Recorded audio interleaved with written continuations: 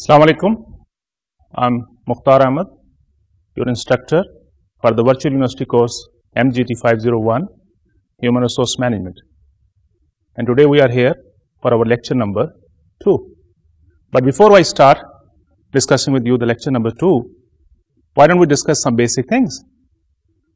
आप सोच रहे होंगे कि मैंने अभी तक आपको इस सब्जेक्ट के लिए बुक्स वगैरह रिकमेंड नहीं की I believe now you are in senior classes, so you must be familiar with the setup of virtual universities.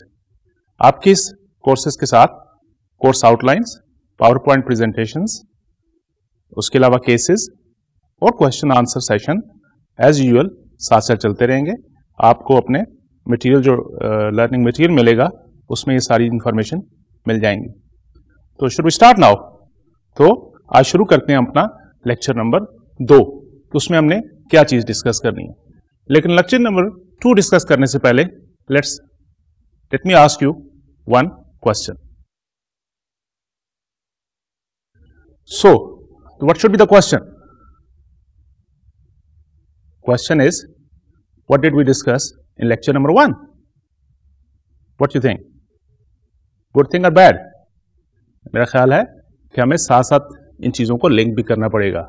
जैसे मैंने लास्ट लेक्चर में जाते हुए आपको ये बताया था कि हम लेक्चर नंबर टू में ये वो ये टॉपिक डिस्कस करेंगे। लेकिन लेक्चर नंबर वन को भी साथ आप शुरू करते हुए डिस्कस करेंगे, उसमें हमने क्या पढ़ा था।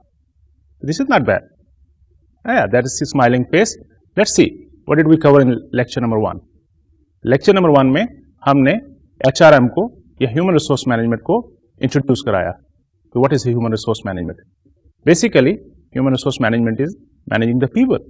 People of any organization, right? उसके बाद हमने क्या डिस्कस किया? कि इसका इंपॉर्टेंस क्या है?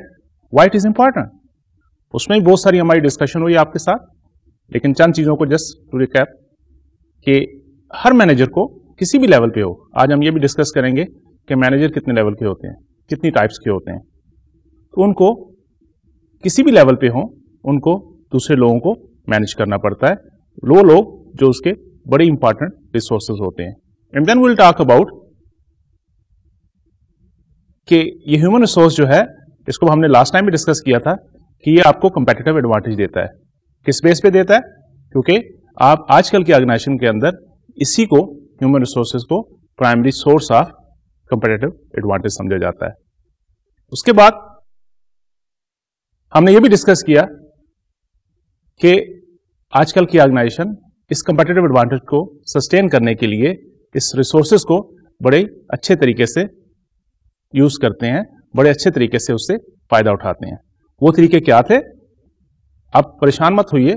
कुछ चीज़ें ऐसे, कुछ ऐसे भी टॉपिक्स आपको नज़र आएँगे जो हमने शायद इस सेंस में, इन वर्डिंग में कल डिस्कस ना किया हो। लेकिन आपको यह भी सोचना है कि technically these are the same thing जिस तरह मैंने आपसे कहा था कि किताबें आपको इस सब्जेक्ट के लिए बुक तो कोई रिकमेंड नहीं की मैंने।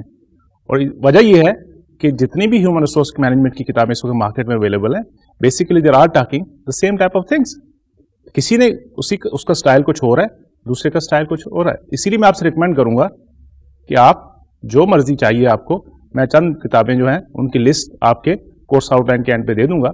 उसमें से जो भी आपको मार्केट में मैसर हो, उसको लीजिए, पढ़िए आप देखेंगे कि वही चीज़ें जो हम अपने लेक्चर्स में डिस्कस करते हैं, वही वो लोग अपनी उस बुक में मुख्तलिफ़ रेफरेंस से मुख्तलिफ़ तरीके से डिस्कस कर रहे होंगे। तो हम बात कर रहे थे कि कंपेटिटिव एडवांटेज कैसे ह्यूमन रिसोर्स से लेते हैं।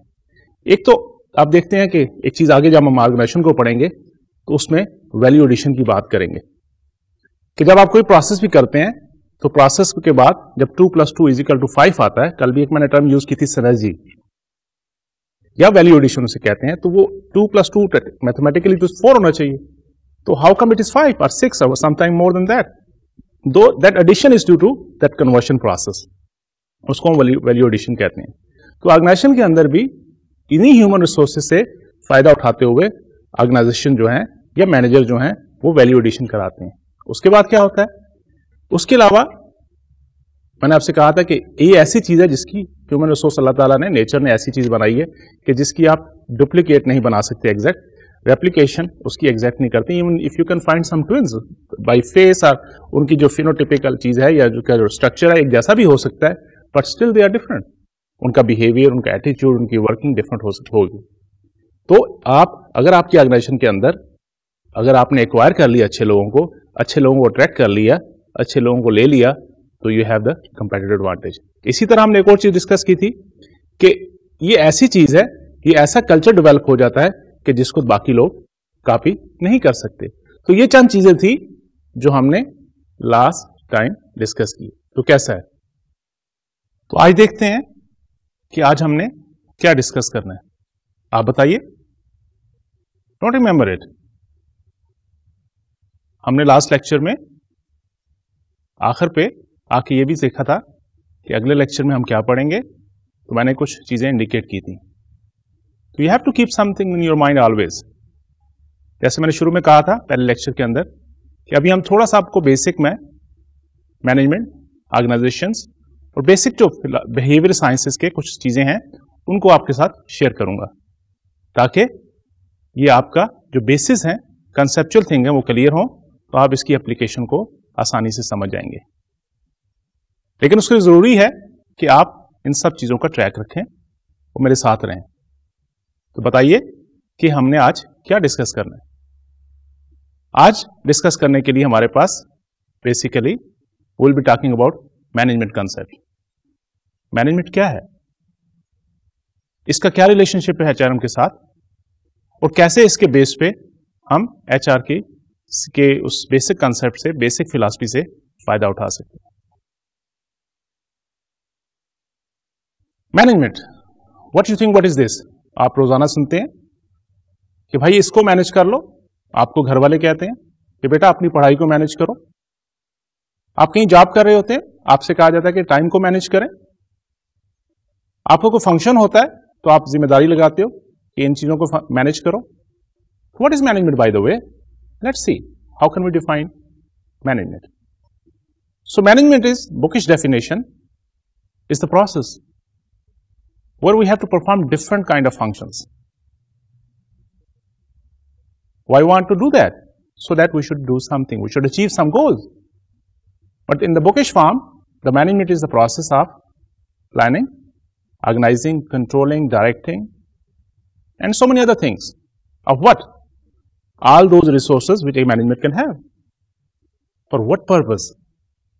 So that you should be able to achieve the goals. Of that particular organisation लेकिन इसको सिंप्लीफाई करने के लिए किताबों में, आपकी बुक्स के अंदर या मैनेजमेंट साइंसेज में हम चार फ़ंक्शन बेसिक फ़ंक्शन को ले लेते हैं, जिनको कहते हैं planning organising controlling and directing so basically then what is management so management is a process एक ऐसा प्रोसेस है जिसमें हम प्लान करते हैं ऑर्गेनाइज करते हैं कंट्रोल करते हैं डायरेक्ट करते हैं, उन रिसोर्सेस को जो किसी भी ऑर्गेनाइजेशन के अंदर होते हैं, ताकि वो अपने प्री डिटर्मिन गोल्स को एफिशिएंट और इफेक्टिवली अचीव कर सकें।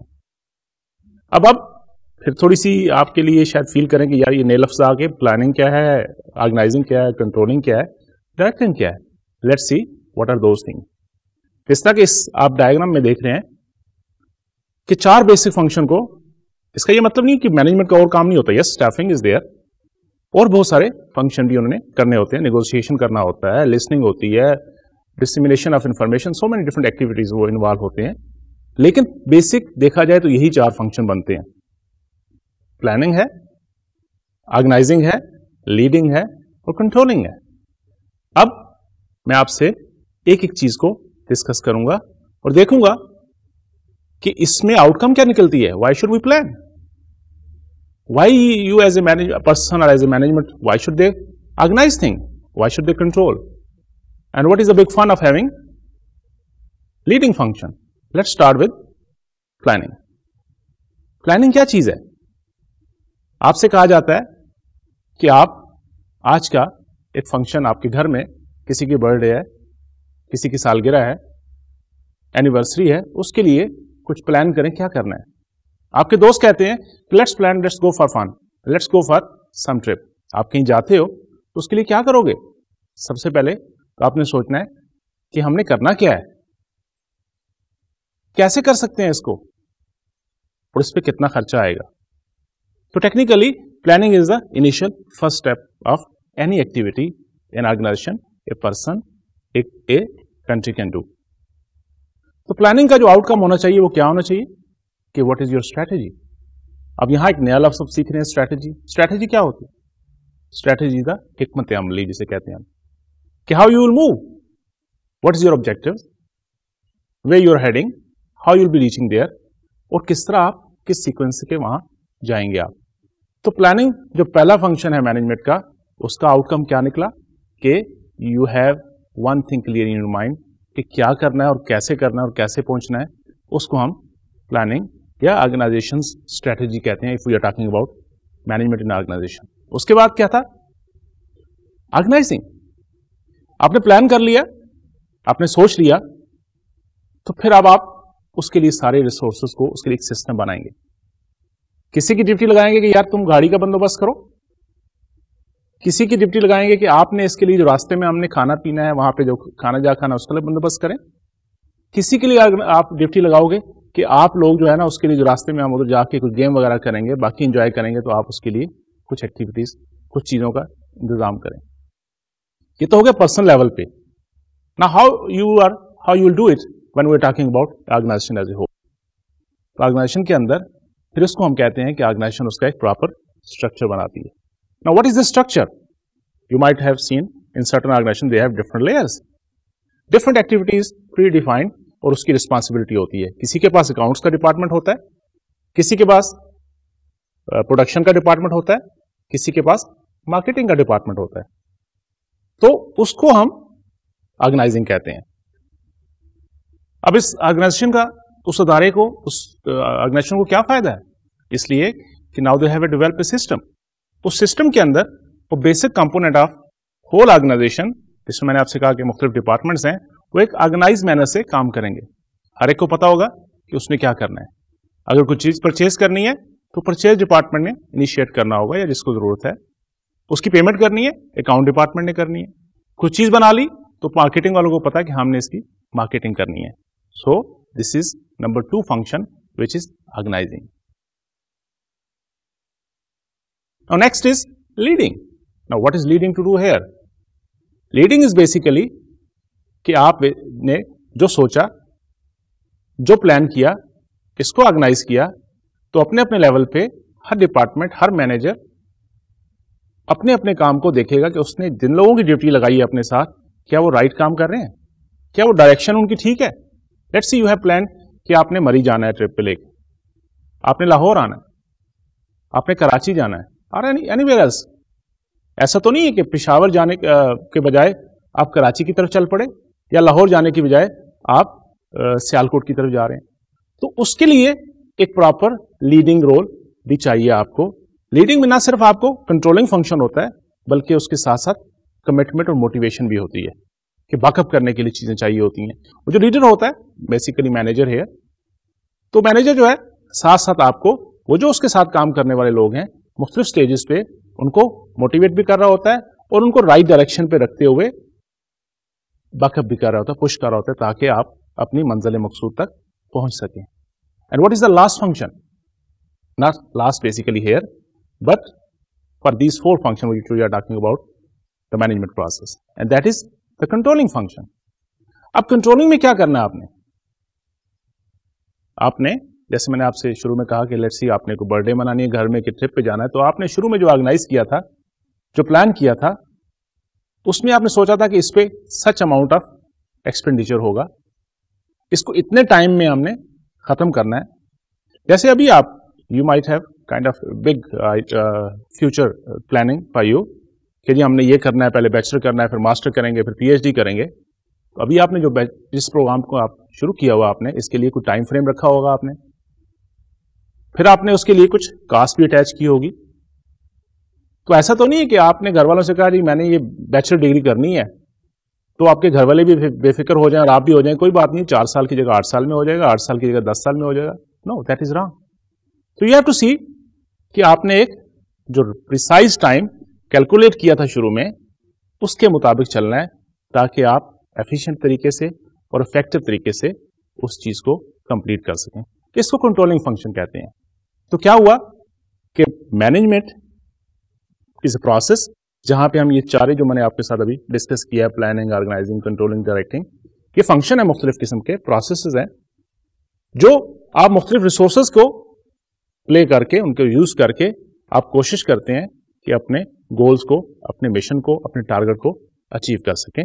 इस सारे प्रोसेस को मैनेजमेंट कहते हैं। लेकिन अभी एक दो नई टर्म आपने सुनी, हमने डिस्कस की एफिशिएंसी और इफेक्टिवनेस ये क्या चीज़ होती है? तो you have any idea yes क्या है efficiency efficiency is doing the thing right अब राइट right कैसे होगी? जिस तरह मैंने आपसे कहा कि आप अपने डिग्री प्रोग्राम कर रहे हो, अपनी एजुकेशन की तरफ़ हो तो एफिशिएंट कैसे कहेंगे? अगर आपने अपना प्रोग्राम राइट टाइम पे मिनिमम जो इसकी रिक्वायरमेंट टाइम है, उसको खत्म किया तो हम कहेंगे कि you have done it in efficient manner तो it is doing the thing right and what is effectiveness effectiveness is basically doing the right thing right ये थोड़ा सा लफ्सों से घबराइए नहीं।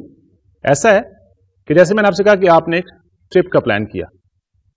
तो लाहौर का सोचा था तो अगर लाहौर पहुँचे तो it's mean you are effective you have done effective work अगर लाहौर की जगह सफ़र तो आपने किया टाइम पे किया, और आप पेशावर पहुंचिए तो it is not effective thing यही चीज़ फ़र्क है इसमें एफिशिएंसी एंड इफेक्टिवनेस में। इसीलिए हम कहते हैं कि कोई भी काम होना चाहिए मैनेजमेंट जब भी कोई आप किसी चीज़ को मैनेज करते हैं it should be efficient and effective let's see what is next ये किसी ने बड़ी अच्छी बात कही है। इसको देखिए। क्या कह रहा है इसमें वो? This is not the management is not so simple लफ्सों में, किताबों में तो अच्छी लगती हैं चीज़ें, लेकिन on the ground reality it is the most difficult thing and specially when we are talking about the people why it is difficult इस तरह इस जो मैंने आपको शुरू में बताया, किसी ने कहा कि management is not so simple it is not piece of cake but same time remember इससे घबराना भी नहीं चाहिए। अगर आपके अंदर, आप क्लियर हैं कंसेप्ट आपके, आप क्लियर हैं कि आपने कहाँ पहुँचना है, क्या करना है तो फिर थोड़ी सी एफर्ट करके आप उसको काम को सही तरह कर सकते हैं। जैसे इस, जो मैंने आपको दिखाई स्लाइड उसमें बताया गया कि इट इज़ लाइक एक एग्ज़ाम्पल कोड कर रहा है, किसी रेफरेंस करके बात कर रहा है कि it is like holding a dove in your hand what is dove now या यू नो दैट एक परिंदा है, बड़ा खूबसूरत सा, फाख्ता कहते हैं उसको। अगर आप उसको टाइट रखेंगे टाइट करके पकड़ेंगे, ज़ोर से पकड़ेंगे तो क्या होगा? वो मर जाएगा।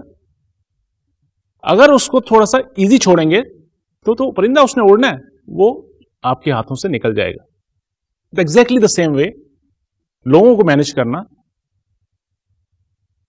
इज़ लाइक दिस इसमें एक बेसिक फिलोसॉफिकल थिंग को डिस्कस किया गया। वो क्या है?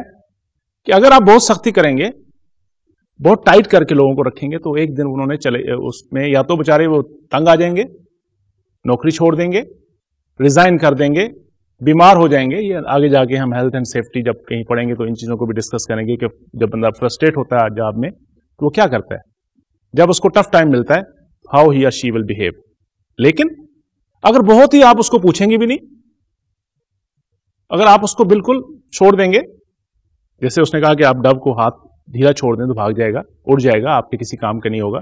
Exactly the same way if somebody no nobody is looking at him her वो थोड़े से ईजी हो जाएँगे।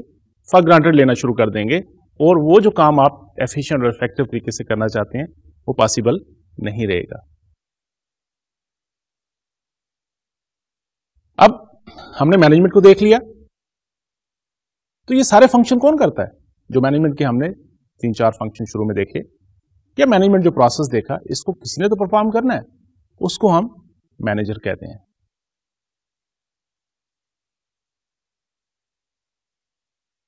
Who is a manager? Someone who participates in the management process. And what was that? To plan, to organize, to control, and direct the resources of organization. Why, why he or she will do that? So that they should be able to achieve the goals. इसको manager कहते हैं तो हर कोई manager हो सकता है आप manager हैं लेकिन इसके लिए एक जरूरी प्री रिक्विजिट थिंग है वो क्या है कि ही या she should be part of that organization too वैसे नहीं, बाहर से कोई आके आपको यहाँ सर पे हाथ रख के कहता है या कोई चीज़ रख कहता है, निकालो कोई चीज़। ये कर लो। आप उसको मैनेजर नहीं कहेंगे। मैनेजर होने के लिए ज़रूरी है कि ही या she should be part of the organization और वो वो सारे जो फ़ंक्शंस हैं मैनेजमेंट के उनको परफॉर्म करे किस मकसद के लिए? ताकि वो अपने ऑब्जेक्टिव्स को, वो गोल्स को मिशन को, जो उस ऑर्गेनाइजेशन के हैं, उनको अचीव कर सके खाली अचीव नहीं करे, बल्कि उसको एफिशिएंट और इफ़ेक्टिव वे से अचीव कर सके, उसको मैनेजर कहेंगे। अब देखते हैं एक अच्छे मैनेजर के लिए, क्योंकि एक मैनेजर का ज़िक्र आ गया, क्या चीज़ें ज़रूरी हैं। जनरली हम मैनेजमेंट साइंसेज में कहते हैं कि manager should keep three ball up अब थ्री बॉल्स का इससे क्या रेलेवेंस है अब वो या तीन बॉल क्या है? आपने मुख्तलिफ़ टीवीज में फ़ंक्शन में इसमें किसी भी फ़िल्म वगैरह में भी देखा होगा वो जगलर जो होते हैं, जो प्ले करते हैं मुख्तलिफ़ बाल लेके, तीन तीन, चार चार बाल को हवा में फेंकते हैं और इस, गिरने नहीं देते उनको। अब अगर कोई भी वो जो प्ले कर रहा है, जो वो आपको शो दिखा रहा है या टेक्स्ट दिखा रहा है, अगर उसकी कंसंट्रेशन किसी भी एक बाल से जरा देर के लिए भी थोड़ी सी भी चूक जाए तो क्या होगा कि वो उस सीक्वेंस को मेंटेन नहीं कर सकेगा और बाल नीचे गिर जाएगा गिर जाएगा और उसका वो जो शो जो है वो फ्लॉप हो जाएगा। इसी तरह एक मैनेजर के लिए ज़रूरी है कि वो तीन कुछ ऐसे बाकी of course he has to perform his her duty very efficiently but still तीन चीज़ों को उसने हर वक्त नज़र में रखना है, ध्यान देना है, ताकि वो अपने फ़ंक्शन में, अपनी एक्शन में, अपनी ड्यूटी में पूरा उतर सके। वो क्या है? एक हम कहते हैं क्वालिटी दूसरा हम कहते हैं कास्ट और तीसरा है कस्टमर सेटिस्फेक्शन जो भी वो काम कर रहा है, जो भी वो प्रोड्यूस कर रहा है इधर it is a production product service whatever he should make sure कि उसकी ऑर्गेनाइजेशन से, उसकी तरफ़ से जो चीज़ निकले, वो क्वालिटी चीज़ हो। उसमें क्वालिटी भी नो कॉम्प्रोमाइज जैसे मैंने लास्ट लेक्चर में कहा था, कभी ऐसे होता था कि कोई क्वालिटी प्रोड्यूस मार्केट में आ जाए तो लोग कहते थे, ये अच्छी है, बाकी नहीं अच्छी। लेकिन आज के दौर में, जब ये world is become the global village इतना कंपटीशन है। Unless you have quality product और सर्विस कुछ भी कर रहे हैं। मैं आपको पढ़ा रहा हूँ, आप पढ़ रहे हैं, आप मार्केट से कुछ चीज़ लेते हो तो अगर उसमें क्वालिटी नहीं होगी तो आप सोच भी नहीं सकते सर्वाइव करने का।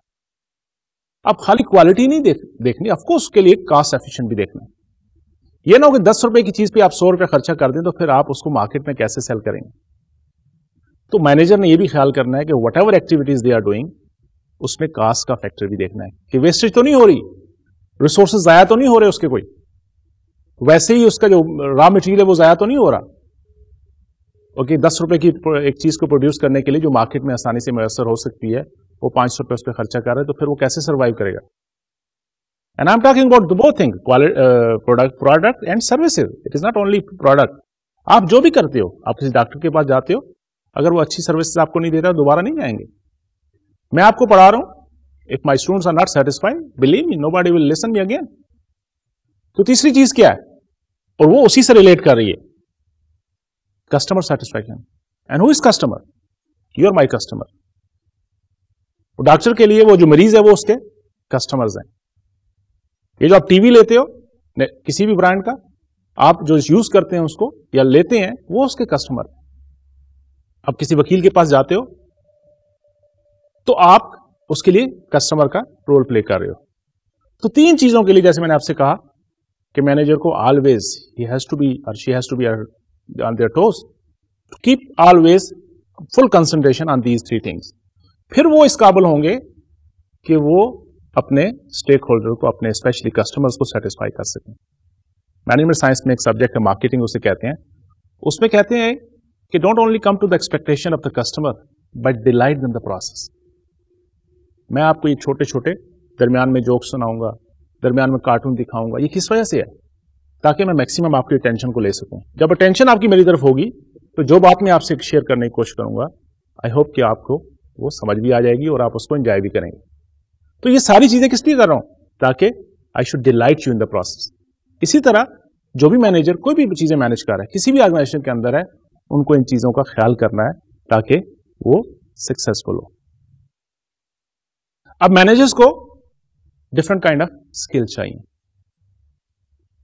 वन वी आर टॉकिंग को स्किल्स तो आप सोचते होंगे कि स्किल तो बहुत सारी होती हैं। अब कुछ टेक्निकल स्किल्स भी होंगी, कुछ मुख्तलिफ़, इसमें लोग कहते हैं कि वो बड़ा अच्छा मैनेजर था, बड़ा अच्छा लीडर था, क्योंकि वो सुनता, बड़ा अच्छा था लोगों को। वो लोगों को कन्विंस बड़ी अच्छी तरह करता था। बड़ा उसकी ठंडी मजाज था, बड़ा हम्बल था, वो बड़ा गुस्से वाला था। ये बहुत सारी चीज़ें हैं जो इंसान आस्ता आस्ता आप सीखेंगे कि किसी मैनेजर के लिए क्या, किस किस्म के स्किल चाहिए। बट टेक्निकली वो are talking about the technical concept के जो बेसिक स्किल्स हैं, वैसे तो आप अपनी किताबें भी देखेंगे, बहुत सारी स्किल मुख्त जगहों पे आपने मैनेजमेंट साइंस की कोई भी बुक पढ़ लेंगे एच में भी होंगी, कि किस किस्म की स्किल चाहिए एक अच्छे मैनेजर के लिए। लेकिन कुछ ऐसी स्किल्स हैं, जो हर मैनेजर को ज़रूर पता होना चाहिए, उनका ज़रूर होनी चाहिए उसके अंदर ये स्किल्स वो स्किल्स हैं conceptual skill human skill and technical skills ये ज़रूर है कि मुख्तलिफ़ किस्म के मैनेजर के लिए, मुख्तलिफ़ लेवल के मैनेजर के लिए कुछ एक स्किल ऐसी होगी जो उसको ज़्यादा चाहिए होगी, दूसरी उसको कम चाहिए होगी। लेकिन ये तीन स्किल्स ऐसी हैं जो हर लेवल के, हर मैनेजर के लिए ज़रूरी है। अभी कंसेप्चुअल स्किल क्या है? कुछ भी आप कर रहे हैं, आपको अगर उस चीज़ का कंसेप्ट है, अगर आप राइट और रॉन्ग में फ़र्क महसूस कर सकते हैं, अगर आप डिसीज़न कर सकते हैं स्ट्रैटेजी बना सकते हैं तो ये आपकी कंसेप्चुअल स्किल है what about human skill very important अगर आपको पता है कि ह्यूमन के साथ किस तरह इंटरेक्ट करना है, दूसरे आपके कुलीग के साथ कैसे बात करनी है, उससे काम कैसे लेना है, उसको मोटिवेट कैसे करना है, उसका बिहेवियर कैसे आपने जज करना है और उसको अपने काम के बारे में मोटिवेट करना है और मोल्ड करना है तो that is basically human skill the last is technical skill आप सॉफ्टवेयर इंजीनियर हैं आपको सॉफ्टवेयर की बेसिक टूल्स का लैंग्वेज का पता होना चाहिए। आप हार्डवेयर इंजीनियर हैं, आपको उस मशीन के बारे में बेसिक टेक्निकोलॉजी वाली थिंग्स जो है, वो पता होनी चाहिए। अब अगर अगर एक ड्राइवर जो है, वो गाड़ी चला रहा है, और रास्ते में गाड़ी खराब हो जाए किसी वजह से भी, और उसको अगर बेसिक उसकी टेक्निकल इंफॉर्मेशन या नॉलेज ना हो तो हम उसको एक अच्छा ड्राइवर नहीं समझते। तो जैसे मैंने आपसे कहा कि तीन स्किल्स ऐसी हैं जो मैनेजर को आनी चाहिए, पता होना चाहिए उनका, अगर उन्हें चीज़ों को मैनेज करना है। One is the conceptual skill second is a human skill और third is a technical skill अब ये ह्यूमन स्किल किसको ज़्यादा पता होना चाहिए? टेक्निकल स्किल ज़्यादा किसको आना चाहिए? और कंसेप्चुअल स्किल ज़्यादा किसको मालूम हो ताकि वो अपने कंसेप्चुअल थिंग्स को या जो उसने डिसीज़न करने हैं, वो कर सकें। तो इसके लिए हमें एक चीज़ समझनी है कि इसका मतलब है कि लेवल ऑफ़ मैनेजमेंट भी डिफरेंट होंगे। जो मैनेजर की बात करते हैं तो मुख्तलिफ़ लेवल्स के मुख्तलिफ़ मैनेजर्स होंगे। वो क्या चीज़ है? Let's talk about those thing हम जब लेवल ऑफ़ मैनेजमेंट की बात करते हैं तो ऑर्गेनाइजेशन के अंदर जनरली बहुत सारे हायरार्किकल लेवल्स होते हैं। बहुत सारे लेवल होते हैं, लेकिन हम उन सबको तीन लेवल्स पे डिवाइड करते हैं। And they are top management middle management and low level और लाइन मैनेजमेंट मैनेजमेंट उसको कहते हैं। शुरू करते हैं नीचे से ये लाइन मैनेजर क्या होते हैं। आपने सुना होगा? आपने कभी चांस हुआ किसी फैक्ट्री में जाने का, किसी कारखाने में जाने का, देखने का कि लोग कैसे काम करते हैं। वो जो सुपरवाइजर होता है, जो लाइन मैनेजर होता है, जो फ़र्स्ट हैंड लोगों से काम ले रहा होता है, किसी भी मशीन पे, किसी भी चीज़ पे, उसको हम लाइन मैनेजर और लो लेवल मैनेजर कहते हैं। Technically it is line manager basically है इससे ऊपर जब आता है, जिसको हम डिपार्टमेंट का कोई हेड कह सकते हैं लाइक मार्केटिंग मैनेजर है लाइक प्रोडक्शन मैनेजर है, उसको हम मिडिल लेवल ऑफ़ मैनेजमेंट कहते हैं, या मिडिल लेवल ऑफ़ मैनेजर कहते हैं। क्योंकि उसने बहुत सारे लाइन मैनेजर को लेके साथ चलना होता है और अपने डिपार्टमेंट के काम को एकम्प्लिश कराना होता है, उसको हम मिडिल लेवल ऑफ़ मैनेजमेंट कहते हैं। And there is it done top management जिसको हम प्रेसिडेंट कह सकते हैं सीईओ कह सकते हैं, या हेड ऑफ़ द उस जो यूनिट है उसको कह सकते हैं, उसको टॉप मैनेजमेंट कहते हैं। अब जो स्किल मैंने आपको बताई, तीनों किस्म की स्किल्स इन तीनों लेवल ऑफ़ जो मैनेजर होते हैं, या मैनेजमेंट होती है, उनको पता होना चाहिए। Let's see how they relate with each other जैसे मैंने आपसे कहा कि ज़रूरी नहीं है कि जो टॉप मैनेजर है, उसको टेक्निकली भी उतना ही आना चाहिए जितना लाइन मैनेजर को आता है। क्योंकि उसने तो काम नहीं करवाना। उसने तो बेसिक स्ट्रेटेजीज बनवानी है। तो काम किसने करवाना है? काम तो वो जो लाइन मैनेजर उसको वहाँ मौजूद है, उसने उन लोगों से काम कराना उन मशीनों से काम करवाना है उनके साथ। उसको पता होना चाहिए कि अगर कहीं ट्रबल होती है शूटिंग किस तरह करनी है। अगर किसी मशीन में कोई प्रॉब्लम आ रहा है तो किससे उसने ठीक करवाना है? ये ज़रूरी नहीं है कि आपका टॉप एग्जेक्टिव जो है चीफ एग्जेक्टिव ऑफिसर है, उसको इन चीज़ों का भी इतनी डिटेल का पता होना चाहिए। Let's see if we compare the basic दोस्त three skills with three level of management तो किस तरह की कहानी बनती है किस तरह की स्टोरी बनती है? Let start with the conceptual thing जैसे मैंने आपसे कहा कि कंसेप्चुअल स्किल uh, क्या है ये कंसीव करना किसी चीज़ को आइडिया को कंसीव करना ये ज़्यादा जो थिंकिंग है ये कौन करता है किसी भी अदारे के अंदर? ऑफकोर्स जो लाइन मैनेजर है उसको तो ये पता है कि उसको ये एक स्पेसिफाई काम है उसने ये काम लोगों से करवाना है। उसने इस मशीन को ऑन करवाना है और इसकी यहाँ तक उसको पहुंचाना है। एंड बाकी चीज़ें उस बिग पिक्चर के अंदर उसको दूसरे लोग उस तरह के मैनेजर होंगे जो वो लोग काम करवा रहे होंगे। तो ये जो कंसेप्चुअल स्किल है ये सबसे ज़्यादा किसको चाहिए होगी? यस यू राइट ये टॉप मैनेजमेंट है उसको इस स्किल की ज़्यादा ज़रूरत है। लेकिन इसका ये मतलब नहीं कि मिडिल को लो लेवल को भी नहीं चाहिए लेकिन उनको कंपेरेटिवली थोड़ा सा कम भी हो तो काम चल जा, जाता है। और सबसे कम कंसेप्चुअल स्किल किसको चाहिए होती है? जो लो लेवल मैनेजमेंट है या लाइन मैनेजर जिनको कहते हैं। अब बात करते हैं टेक्निकल स्किल की। अब टेक्निकल स्किल किसको सबसे ज़्यादा चाहिए? यस ये उसी को चाहिए जिसने वो टेक्निकल काम करवाना है। इसका मतलब ये नहीं है कि टॉप मैनेजर को उसका पता ही नहीं होना चाहिए। Let's if I am running a business of computer science और I have some kind of computer production मेरी कोई फैक्ट्री है, किसी की भी, या आप कोई एक हॉस्पिटल चलवा रहे हैं तो हॉस्पिटल का जो हेड होगा, ज़रूरी नहीं कि वो डॉक्टर भी हो सिंपल मैनेजमेंट मैनेजर भी हो सकता है, मालिक जो उसका है, या चीफ एग्जेक्टिव है। लेकिन उसको कम से कम अंदाज़ा ज़रूर होना चाहिए कि वहाँ पे क्या हो रहा है। उसको थोड़ा सा नो आउ अपने उस एरिया में जिसमें वो काम करवा रहा है, उसका पता होना चाहिए। लेकिन ज़्यादा काम किसको, उस टेक्निकल जो डिटेल्स हैं, वो किसको ज़्यादा पता होना चाहिए? लो लेवल ऑफ़ और लाइन मैनेजर्स को। तो इसके अपोजिट जो मैंने आपको कंसेप्चुअल बताया था, उसके opposite technical now skills technical skill सबसे ज़्यादा किसको चाहिए? लाइन मैनेजर को, क्योंकि उसने वहाँ पे लोगों से काम करवाना, उसको बेसिक छोटी छोटी डिटेल्स का पता होना चाहिए।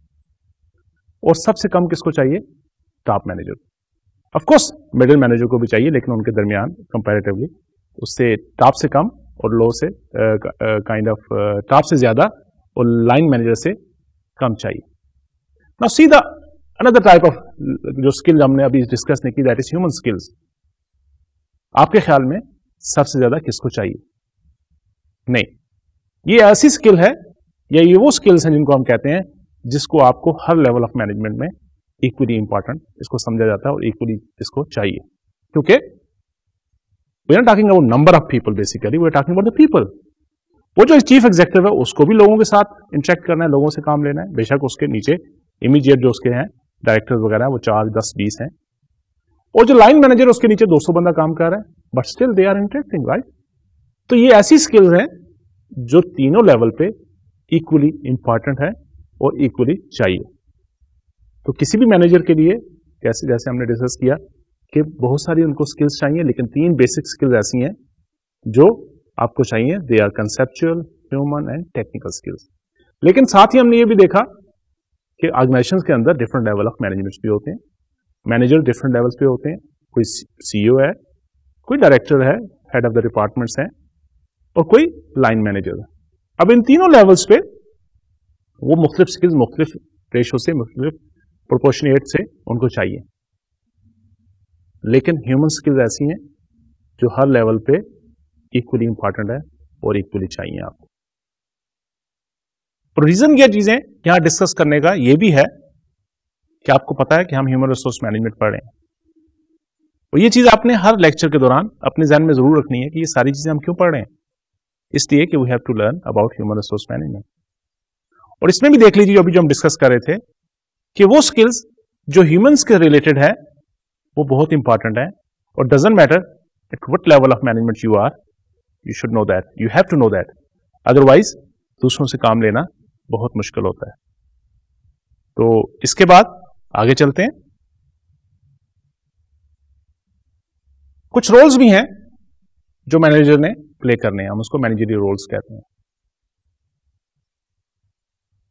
इस बहुत सारे रोल्स हैं जो आप मुख्तलिफ़ मौक़ों पे परफॉर्म करते हैं। लेकिन कुछ अगेन ऐसे जैसे मैंने स्किल्स की बात की इसी तरह रोल्स भी हम अपनी बुक्स में देखते हैं अपने जब डिस्कस करते हैं कि तीन बेसिक रोल्स को हमने एक इंपॉर्टेंस uh, के लिहाज से डिस्कस करने के लिए चुना।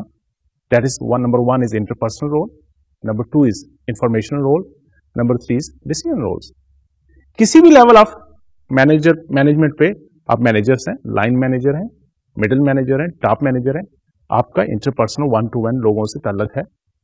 आपने वो रोल भी प्ले करना है। आपने इंफॉर्मेशन भी देनी है।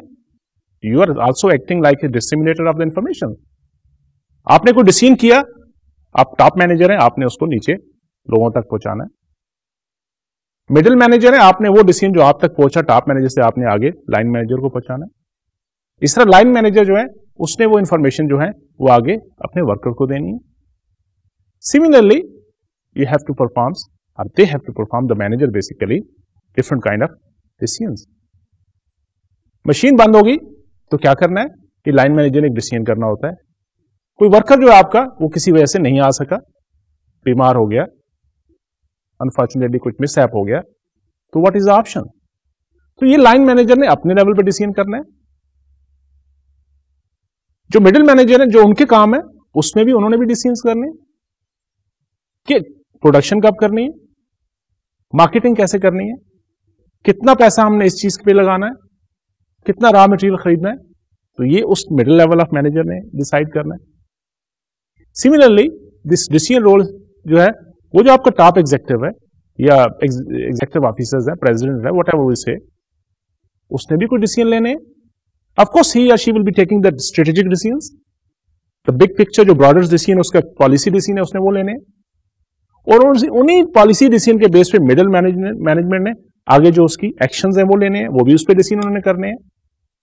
और लो लेवल पे आके, या लाइन मैनेजर ने भी आके डिसीज़न करने हैं कि उन्होंने कैसे उन डिसीज़न को इंप्लीमेंटेशन पर लेके अपने वर्कर से वो काम लेना है। तो क्या हुआ? कि ये मैनेजर जो है, इनको तीन इंपॉर्टेंट रोल प्ले करने पड़ रहे हैं। Interpersonal informational and decision no what you think फिर तो बड़ा आसान काम नहीं हो गया। तो अगर ये चीज़ें सारी हमें सब पता लग गई तो उसका मतलब है हम में से हर कोई अच्छा मैनेजर हो गया। हम अच्छी चीज़ों को मैनेज कर सकते हैं। Then where, where is the problem? Then basically why it is like कि जी हम कहते हैं कि वो बड़ा अच्छा मैनेजर था उसने बड़ा अच्छा अपने सिस्टम को अपने जो भी उसको प्रोजेक्ट मिला उसने किया। आप अपने क्लास में भी देखते हैं कि एक ही लेवल पे मुख्तलिफ़ लोग डिफरेंट प्रोजेक्ट कर रहे होते हैं क्लास के। किसी का बहुत अच्छा प्रोजेक्ट हो जाता है किसी का नॉर्मल रहता है। अब इसमें क्या चीज़ थी जिसने ये डिफरेंट पैदा किया? आपका प्रोजेक्ट कैसे अच्छा होगा दूसरों से? या दूसरे किसी आपके साथी का प्रोजेक्ट आपसे बेहतर कैसे हो गया? वो इसलिए कि उसने जो इंफॉर्मेशन अवेलेबल थी आप लोगों को, उसने उन इंफॉर्मेशन को राइटली राइट टाइम पे एक अच्छा डिसीज़न करके अच्छी तरह यूटिलाइज कर लिया। यही से जो आपके रोल्स हैं, अगर अपने रोल्स को आप प्रॉपर तरीके पे सही प्ले कर लें, जो इंफॉर्मेशन आपके पास है, उनका राइट इस्तेमाल कर लें तो आप एक अच्छे मैनेजर बन सकते हैं और दूसरा एक वर्स मैनेजर हो सकता है। एक कामयाब मैनेजर हो सकता है दूसरा नाकाम मैनेजर हो सकता है When I'm talking about manager, it doesn't mean manager of organization. Of course, you are also manager. Whenever you're doing a project, you are also a manager. You are managing a project. आप ये पढ़ रहे हो आपका grade अच्छा आ जाएगा आपका दूसरा साथी भी पढ़ रहा है वो हो सकता है उसको सही राइट टाइम पूरा नहीं दे सकता पूरी इंफॉर्मेशन को वो कंसीव नहीं कर रहा और स्पेस पे वो डिसीज़न सही नहीं कर रहा उसके ग्रेड अच्छे नहीं आएँगे वेरी सिंपल ना तो I hope we are understanding those thing कि क्या रिलेट किस तरह हम चीज़ें कर रहे हैं साथ साथ ताकि हमें ये आइडिया हो जाए कि कैसे होता है। लेकिन कभी कभी हम इससे थोड़ा सा ट्रैक से उतर भी जाते हैं। चीज़ें हमें आसान लगती हैं, लेकिन on ground reality they are very difficult to same time and how they are difficult जैसे इस प्लाज्मा में आप देख रहे हैं कि it is not enough to know about managing you need to prepare to do it वो कैसे कर सकते हैं? One part don't be afraid of this thing ये सिर्फ़ आपको जुगाने के लिए है कि आप मेरे साथ रहें। ये कार्ट मैंने जैसे शुरू में कहा था कि मैं कुछ कार्टून्स कुछ क्लिप आर्ट्स आपके साथ शेयर करता रहूँगा। आपने भी देखे होंगे। सिर्फ़ इसलिए कि उनसे, उस जो चीज़ हम डिस्कस कर रहे हैं, उससे रिलेट करते हैं। कभी कभी ये बड़ा डिफ़िकल्ट होता है। आपने भी देखा होगा कि मंडे को अगर जब जाते हैं छुट्टी के बाद, दिल नहीं करता स्कूल जाने का कॉलेज जाने का। इसी तरह हम जब लोग काम करते हैं तो जब छुट्टियाँ होती हैं तो उसके बाद ऑफ़िस जाने का दिल नहीं करता। तो इसमें भी क्या दिखाया गया?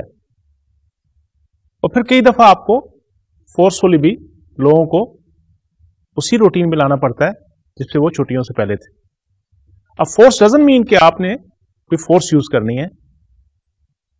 एचआरएम में या मैनेजमेंट में हम उसको री इन्फोर्समेंट कहते हैं। कि हाउ यूल मेक श्योर कि आप भी उसी स्पिरिट के साथ टाइम पे, काम पे आए और आपके साथ जो कोलीग काम कर रहे हैं, आपने उनको भी उसी तरह टाइम पे लाना है और उसी रूटीन के साथ, उसी स्पिरिट के साथ, उसी एफर्ट के साथ अपनी काम को अचीव करना है टाइमली ये सारा कुछ भी इंशाल्लाह हम आगे आने वाले चंद लेक्चर्स में इन चीज़ों को डिस्कस करेंगे। अब, जैसे मैंने आपसे कहा कि जब आप लोगों को मैनेज कर रहे होते हो तो आपको चंद चीज़ों का चंद एक्टिविटीज़ के बारे में कंसर्न होना चाहिए। तो जो हम बात कर रहे थे कि forcefully force again doesn't mean here कि आपने एक्चुअली फोर्स यूज़ करनी है। उस तरह की फोर्स नहीं। हम कुछ और एक्टिविटीज़ की बात करते हैं। वो एक्टिविटीज़ क्या हो सकती हैं? लाइक like, जब आपने कुछ एज ए मैनेजर किसी भी लेवल पे आपने स्टैपिंग करनी लोगों को लेना है लोगों को चेंज करना है कोई अच्छा परफॉर्म नहीं कर रहा, उससे कैसे काम लेना है? रिटेंशन जो लोगों की है कि किस तरह आपने कोशिश करनी है मोटिवेट करना है कि लोग आपके पास रहें। उनको आगे डेवलप कैसे करना है? क्योंकि हर एक की एक, जैसे मैंने उस दिन कहा था लास्ट लेक्चर में, कि हर एक की ख्वाहिश होती है कि वो आगे बढ़े। उसके लिए मैनेजर्स ने जो डिसीज़न एक्टिविटीज़ में इन्वॉल्व होना है स्पेशली एचआरएम के हवाले से तो वो इस तरह की पॉलिसीज़ ऐसी स्ट्रेटजीज बनानी है कि लोगों की उसमें आस्था से साथ डेवलपमेंट भी हो रही है। कुछ एडजस्टमेंट भी करनी पड़ती है आपको। उसके लिए भी आपने मुख्तलिफ़ एक्टिविटीज़ क्रिएट करनी है। अब now adjustment is like so many different kind of adjustment can be there जैसे हमने कहा कि कोई बीमार हो गया तो आप क्या एडजस्ट करेंगे आप? उसकी जगह कौन काम करेगा? आपका कोई मेन जो किसी भी like like if you are line manager तो मेन जो आपका टेक्निकल आदमी था वो आज नहीं आया तो क्या आप सारा कुछ उसके लिए रोक लेंगे?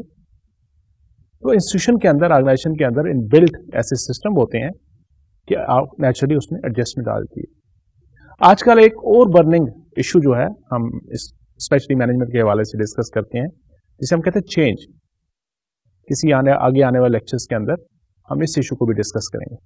वेरी इंपॉर्टेंट चीज़ें चेंज हो रही हैं टेक्नोलॉजी चेंज हो रही है वर्किंग बिहेवियर चेंज हो रहे हैं वर्किंग एनवायरमेंट चेंज हो रही है।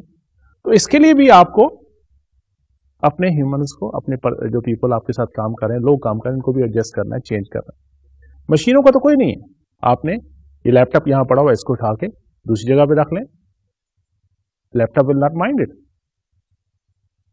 लेकिन अगर आपने टेक्नोलॉजी चेंज कर ली आपने सिस्टम चेंज कर लिया तो अगर आपने उसके लिए अपने लोगों को तैयार नहीं किया there will lot of resistance there और वो बजाय वो जो आपने शुरू में हमने कहा था कि एफिशिएंट एंड इफेक्टिवनेस उसके बजाय नेगेटिव आस्पेक्ट आना शुरू हो जाएँगे। नुकसान होना शुरू हो जाएगा। टाइम का रिसोर्सेस का और बदनामी अदारे की, आपकी सबकी होगी। तो उसके लिए ज़रूरी है मैनेजर्स के लिए हमें एज ए मैनेजर कि हम उस चेंज को भी मैनेज करने के लिए अपने उस सिस्टम के अंदर इस तरह की एडजस्टमेंट करें कि नेचुरली वो सारे जो हमारे लोग हमारे साथ काम कर रहे हैं, वो उसको अडेप्ट भी कर लें and they should also become the part of this change आगे चलते हैं। डोंट वरी आई नो थोड़ा सा काफ़ी चीज़ें हम साथ साथ डिस्कस कर रहे हैं, लेकिन फिर मैं ऐसे कहूँगा कि ये सारी बेसिक चीज़ें हैं, आपको पता है। आपने किसी और मौके पे, किसी और सब्जेक्ट के अंदर ये ज़रूर डिस्कस की होंगी। नहीं भी की तो these are common sense things आपके रियल लाइफ में ये चीज़ें, इन चीज़ों की एप्लीकेशन ये चीज़ें आप साथ साथ देखते भी हैं। अब हम देखते हैं, थोड़ा सा आगे चलते हैं। जैसे मैंने शुरू में आपके साथ आज के टॉपिक्स के बारे में डिस्कस किया था। तो बेसिक मैनेजमेंट के छोटे से कॉन्सेप्ट तो हमारे आई होप कि इस वक्त तक क्लियर हो जाने चाहिए। अगर नहीं हुए तो फिर दोबारा इसको देखिए, दोबारा पढ़िए, किताब को पढ़िए, कोई भी मैनेजमेंट के हवाले से मुख्तलिफ़ रेफरेंस बुक मिलती हैं, उनको देखिए, फिर भी क्लियर ना हो यू कैन मेल मी या हमारे वर्चुअल यूनिवर्सिटी के अंदर, हमारे लोग बैठे होंगे, आपको कोई क्वेरीज हो, कोई कंसर्न हो डू टॉक विद अस कोई चीज़ भी फॉर ग्रांटेड ना लीजिए, क्योंकि अगर आपकी इस वक्त बेस अच्छी ना बनी तो आगे जाके चीज़ें और कॉम्प्लिकेटेड होती जाएँगी, फिर you'll be last let start next step तो दैट इज़ कि how will relate those basic management concept with our H R activities एक चीज़ तो क्लियर है, आप भी मानते हैं, मैं भी मानता हूँ, कि human resource is part of the management और मैनेजमेंट के अंदर हमने डिस्कस किया है कि ये प्रोसेस है planning organising controlling directing of different resources to achieve goals and don't you think human is also very important resource हम तो बहुत दफ़ा इसको डिस्कस कर चुके तो human resource is also very important resource of the management इसके लिए भी उसने वही उसी तरह की ऑर्गेनाइज करना है प्लान करना है डायरेक्ट करना है कंट्रोल करना है, अपने ह्यूमन रिसोर्स को, ताकि वो अपने गोल्स को अचीव कर सके एफिशिएंट और इफ़ेक्टिव वे में। तो H R human resource profession होने की वजह से आपकी कुछ रिस्पॉन्सिबिलिटीज भी होती हैं। Whoever is working H R kind of profession in organisation आगे चल के हम किसी, चंद लेक्चर में हम डिस्कस करेंगे किस किस्म के प्रोफेशनल्स होते हैं क्या क्या उनकी रिस्पॉन्सिबिलिटीज होती हैं। लेकिन थोड़ा सा उसको मैनेजमेंट से रिलेट करते हुए आगे चलते हैं कि ह्यूमन रिसोर्स प्रोफेशन की कुछ रिस्पॉन्सिबिलिटीज होती हैं और वो रिस्पॉन्सिबिलिटीज लाइक किस किस्म की रिस्पॉन्सिबिलिटी हो सकती है? कि उन्होंने प्रोसीजर्स को स्टैब्लिश करना होता है। किन प्रोसीजर्स को? ऑफकोर्स जिसमें किसी तरह भी ह्यूमन आस्पेक्ट आता हो। कौन काम कैसे करेगा? क्या क्या उसने काम करना है? कि ह्यूमन रिसोर्स ने आपको बना के देना ऑर्गेनाइजेशन के अंदर। And then they have to develop and choose different kind of methodologies कि किस तरह उन्होंने जैसे हम अभी डिस्कस कर रहे थे कि आप मंडे को नहीं आना चाहते। तो how they will make sure कि मंडे को आप आए? और टाइम पे आए। कुछ लोगों की आदत होती है कि वो टाइम की इतनी कदर नहीं करते। टाइम पे नहीं आते। लेकिन ऑर्गेनाइजेशन में ये चीज़ें अफोर्ड नहीं हो सकती। उसके लिए उन्होंने मुख्तलिफ़ मेथडोलॉजीज डिज़ाइन करनी है। री इन्फोर्समेंट स्ट्रेटेजीज बनानी है। कि किस तरह आप लोग टाइम पे आएँगे, या जो भी काम कर रहा है आपके साथ वो टाइम पे आएगा और परफॉर्म करेगा। अब ना सिर्फ़ एचआर जो प्रोफेशन है, उन्होंने स्ट्रेटजीज को बनाना है मेथडोलॉजी को डिफाइन करना है बल्कि देखना है क्या वाकई वो काम कर भी रही है कि नहीं रही उनको मॉनिटर और एवेल्युएशन करना भी उन्हीं का काम है। They have to see whether these all दो स्ट्रेटजीज और मेथडोलॉजीज आर वर्किंग ना क्या जो उन्होंने री इन्फोर्समेंट किस्म की स्ट्रेटेजी अडॉप्ट की थी, या उन्होंने जो प्रोसीजर बनाए थे, उसके बेस पे जो वही जिस तरह हमने प्लानिंग में कहा था कि आप सोचते हो कि ये मैं क्यों करना चाहता हूँ? तो ह्यूमन जो इन्वॉल्व है रिसोर्सेज आपके, उनके लिए भी आपने उसी तरह प्लान करके एंड पे जाके उसकी कंट्रोलिंग भी देखनी है। उसको लीडिंग रोल भी प्ले करना है आपने एज एच आर प्रोफेशनल कि जो एक्टिविटीज़ आपने डिसाइड की थी, उसके बेस पे आपको रिज़ल्ट मिल रहे हैं या नहीं मिल रहे क्या आपके वो जो ह्यूमन रिसोर्स आपके पास काम कर रहा है, वो रिस्पॉन्सिव है कि नहीं? रिस्पॉन्ड कर रहा है कि नहीं कर और अगर रिस्पॉन्सिव नहीं है तो you have to go back again the number one stage कि आप दोबारा अपने उन सिस्टम को बनाएँगे, आप रीमॉडिफाई करेंगे और फिर कोशिश करेंगे कि ऑर्गेनाइजेशन की रिक्वायरमेंट के मुताबिक उसका रिज़ल्ट ले सके। तो मॉनिटरिंग एंड एवेल्युएशन भी एच प्रोफेशन का काम है कि वो मैनेजमेंट के उस फ़ंक्शन में वहाँ पे हेल्प करेंगे।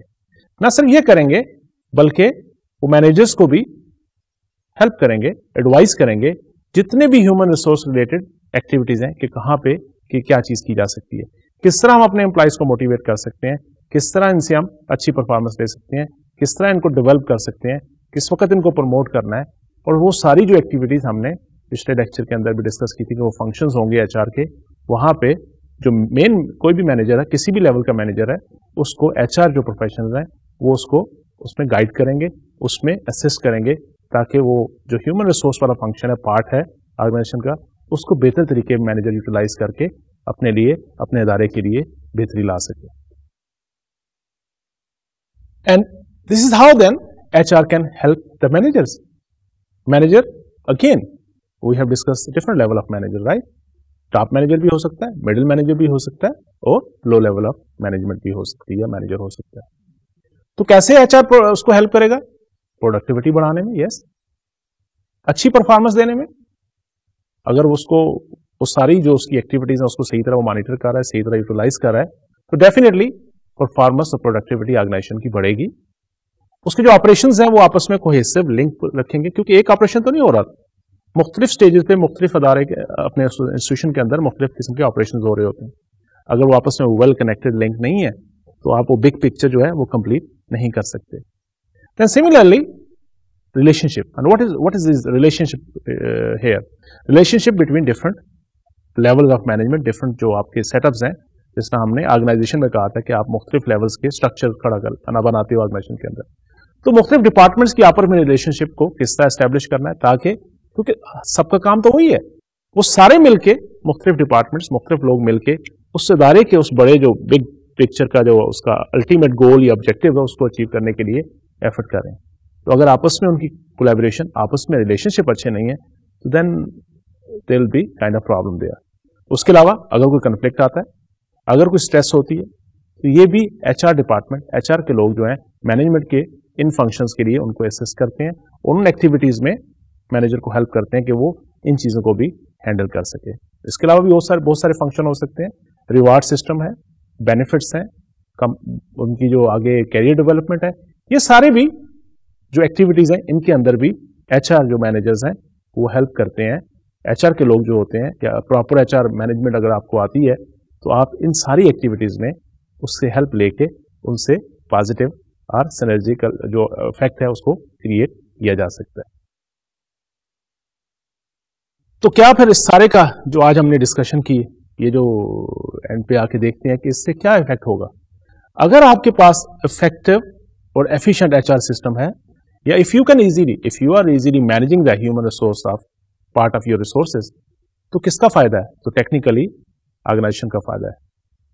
Effective human resource management will give you an effective organisation and how organisation can be effective उसकी प्रोडक्टिविटी से, उसकी क्वालिटी से, उसकी मार्केट वैल्यू से, उसके मार्केट शेयर से। मुख्तलिफ़ किस्म के इंडिकेटर्स होते हैं जो आपको मार्केट में मिलते हैं कि आप उनके बेस पे देख सकते हैं कि कैसे चले। तो क्या ख्याल है? रुकना चाहिए या आगे चलें? I think for today it is enough लेकिन जाने से पहले चंद चीज़ें मैं ज़रूर आपके साथ शेयर करना चाहूँगा।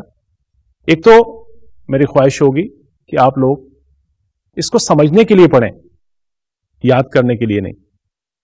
ये इस तरह के सब्जेक्ट्स हैं जो आप इतनी मोटी मोटी आप बुक्स देखेंगे तो कितना एक मेमोराइज कर सकते हैं। आपकी भी कुछ सीपीयू की, जो अपनी सीपीयू की जो मेमोरी लेवल है, कोई लिमिटेशन तो होगी ना? तो why don't we go for other kind of approach कि हमने इसको समझना है। अब समझने के लिए क्या करेंगे आप? तो मैंने जैसे आपसे कहा कि इसके लिए कोई भी एचआर की बेसिक बुक इस सब्जेक्ट के लिए ले लें। और जो टॉपिक्स हमने अगले लेक्चर में पढ़ना है, उनको पहले पढ़ के रखिए। ताकि जब मैं आपसे डिस्कशन करने आऊँ डिस्कस करें तो आपको कुछ ना कुछ कंसेप्ट होना चाहिए। At least you should be familiar with those different words जो आते हैं दरमियान में, हम डिस्कस करते हैं। तो क्योंकि पहली दफ़ा आप सुनेंगे तो आपका यू विल बी लॉस्ट लेकिन अगर कहीं पढ़ा होगा, कहीं देखा होगा तो आपको याद आएगा वो yes I have seen that word तो कोशिश कीजिए कि आगे आने वाले लेक्चर्स के अंदर जो आगे हमने टॉपिक डिस्कस करने हो, उनको पढ़ रखिए पहले। नहीं समझ आती no problem will discuss discussion के बाद भी नहीं आती तो फिर मैं ये कहूँगा कि एक दफ़ा जब लेक्चर में डिस्कशन हो जाए, उसके बाद वापस जाके दोबारा पढ़िए उन टॉपिक्स को। तो फिर then I can bet with you कि आपकी लर्निंग बेहतर हो जाएगी। तो आज फिर यहाँ पे स्टॉप करते हैं, लेकिन जाने से पहले देखते हैं कि नेक्स्ट टाइम हमने क्या डिस्कस करना है। जैसे मैंने शुरू से कहा था कि we are starting now the basic things तो आज मैनेजमेंट को डिस्कस किया मैनेजर को डिस्कस किया तो अगली इंशाल्लाह लेक्चर के अंदर हम डिस्कस करेंगे ऑर्गेनाइजेशन क्या होती हैं, और उसके बेसिक कंपोनेंट्स क्या होते हैं, वो आपस में किस तरह रिलेट करके काम करते हैं। तो अब आपका क्या काम है कि आपने बुक के अंदर इन दो टॉपिक्स को ज़रूर पढ़ना है। समझ आए या ना आए शुरू में, लेकिन इनको अगले लेक्चर के लिए तैयार ज़रूर करना है। फिर नेक्स्ट टाइम अल्लाह हाफिज अलैक्म